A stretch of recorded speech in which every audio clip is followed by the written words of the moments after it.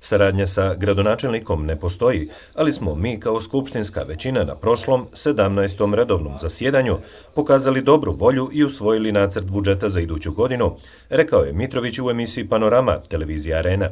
Očekujemo da ovih dana se vrše javne rasprave sa javnim institucijama, udruženjima, firmama, da će ti ljudi sa predstavnicima mjesnih zajednica, da će ti ljudi djelovati amandmanski ka nadležnom odjeljenju, da će ti amandmani od tih institucija, od naših ljudi sa terena, predsjednika mjesnih zajednica, od udruženja građana, jako bitnih udruženja, ovaj, stići amandman da će to nadležna odjeljenja prihvati u onoj mjeri u kojoj budu mogli, da će to nama uputiti na Skupštinu i naravno Skupština će tu, da što kaže, da svoju zadnju riječ, da li će ponovo morati doći do nekog amandmanskog djelovanja, prenosa sredstava svakako, ali ja vidim jednu dobru volju od strane Skupštinske većine da se budžet za 2023. godinu usvoji. Mitrović je rekao da u našem gradu vlada urbanistički haos i da je njegov i cilj njegovih kolega da se uvede red u ovu oblast i da Bijeljina zaista bude grad u pravom smislu te riječi. Bijeljina se stalno širi i gradi.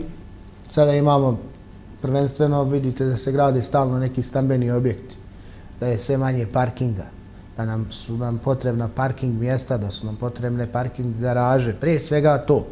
Zatim infrastruktura u gradu i kanalizacija koja je urađena, ona zahtjeva stalno održavanje.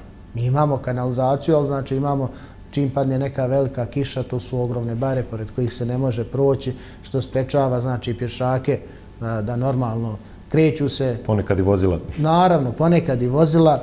Zatim, tu je mnogo drugih stvari. Znači, pored ulaganja koje je stalno potrebno u Bijeljnu, potrebno je i održavanje. Mitrović ističe da treba obezbijediti dobre puteve koji idu prema Bijeljini, te da sva prateća infrastruktura bude po mjeri naših građana.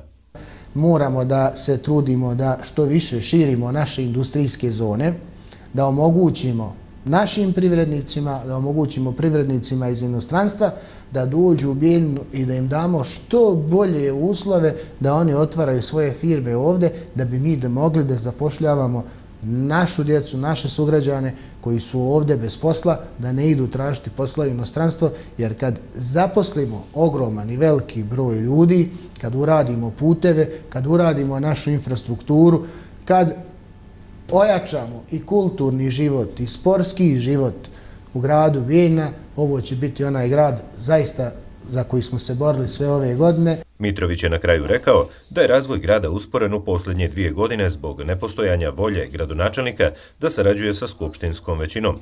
To mora prestati jer građani ne smiju da trpe, dodao je Mitrović.